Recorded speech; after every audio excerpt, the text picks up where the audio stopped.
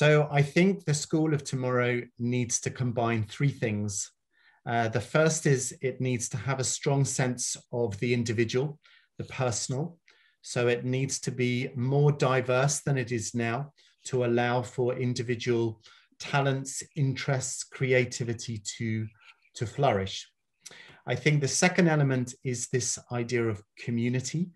So, how do you nurture a school that has a strong community that is outward facing, engaging with others, um, and really building a sense of community uh, in the place that it exists? And the third element is, is this relationship with nature, that we have realized that our practices have become very disconnected from a deep understanding of how nature and natural systems work. So, how do we teach in a way that helps our children and young people understand the fundamental universal principles of life that guide everything that we do?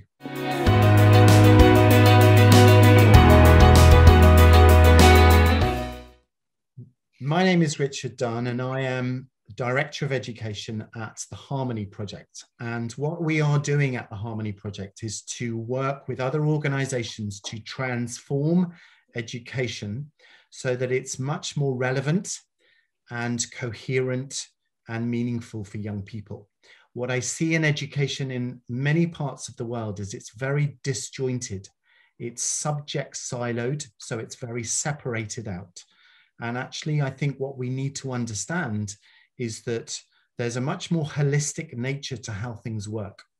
So, our work of harmony is explaining that when things work well, it's because they work well together.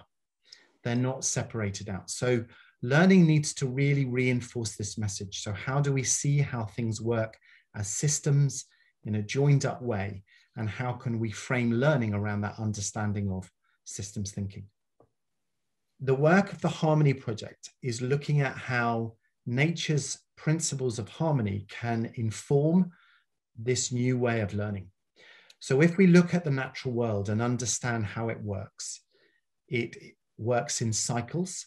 So, this idea of cyclical systems where there's no waste or pollution is a really great model for us. If we want to create a healthy future, we're not going to create a lot of waste and a lot of pollution. If we look at how nature is interdependent and interconnected, we understand that it's about relationships, that when things work well together, it's about the relationships that are, are created and sustained within that. Uh, another example is nature teaches us diversity, that diversity is a good thing. Having different perspectives on things, seeing the diversity of flowers in a wild flower meadow or growing food in diversity. These are all really important messages. And that nature is constantly adapting, constantly evolving and changing. And that's exactly what we need to do now. Uh, change is not a bad thing, it's a really good thing. And when we look again to nature, we see that it's constantly changing and developing and evolving. So, how can we embrace these principles and help them to inform the practices that we develop so that they work really well. Because the most sustainable, healthiest systems of all are the systems of nature. And we are nature. So when we understand how nature works, we understand how we work.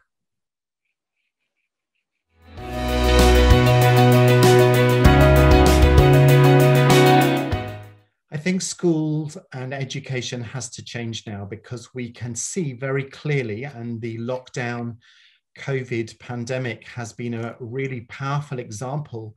We can see that many of the systems and practices we have in place in the world uh, are damaging and degrading the, the nature, the natural world. And that's what we rely on for everything in our lives. So if we don't get that relationship right, if we don't work in harmony with nature, then we will continue to create the problems which are leading to issues like climate change, like the global pandemic. So it's really now a time for us to think of a new paradigm, a new way of looking at learning, and a way of learning which makes sense. It makes sense for us and it makes sense in relation to the world in which we live. And if we can get that right, then we will have a sustainable future. If we don't, then we will continue to create the problems. And the prognosis already is pretty serious and pretty worrying. So we have to do things differently. And the starting point is education.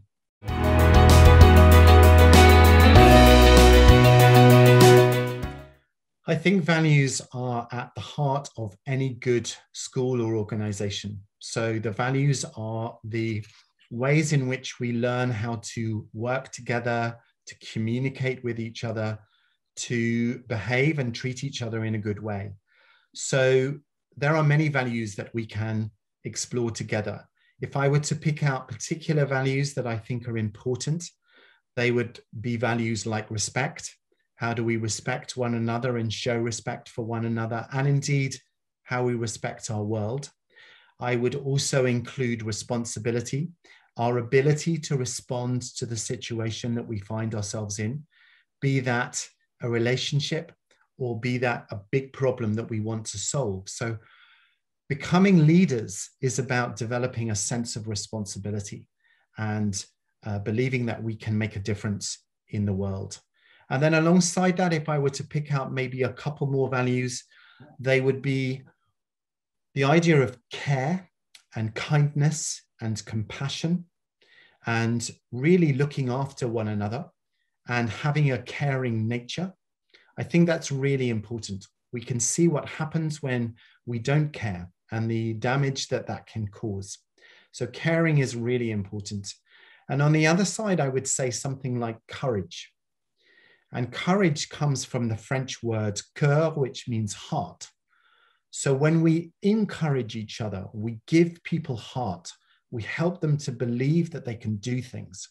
And I think courage is a really important word. We need to stand up for what we believe in. And then we need the courage to live that out, to do something with that belief. And hopefully that will create the positive change that we want to see.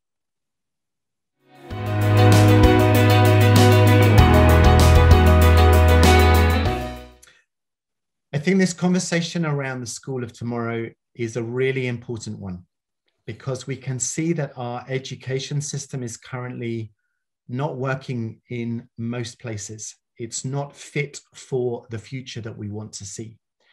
So, for me, the starting point is to really define what kind of future do we want? And in very simple terms, I think that's a future that is about two words harmony and health. Harmony is about this idea of things working together. And health is a result of harmony. When things work well together, the outcomes are healthy. So when we look to the natural world, for example, we see that when a system is in harmony, it is a healthy system, a system where life flourishes. If we look at it in terms of community and people, it's exactly the same. When we live in harmony with each other, we treat each other in the right way, and we help each other to learn well together, then we create this incredible, healthy, joyful uh, community that is, is really about celebrating the things that we do together. So I think we should see the outcome of all of this as this idea of celebration that when we do things well and we work well together and we give ourselves time to celebrate and to reflect on the great work that we're doing, then we are uh, educating in the right way. And for me, the für Schule project is exactly about that. So I'm really excited by the work that is being done and hope that these messages can really create some positive change.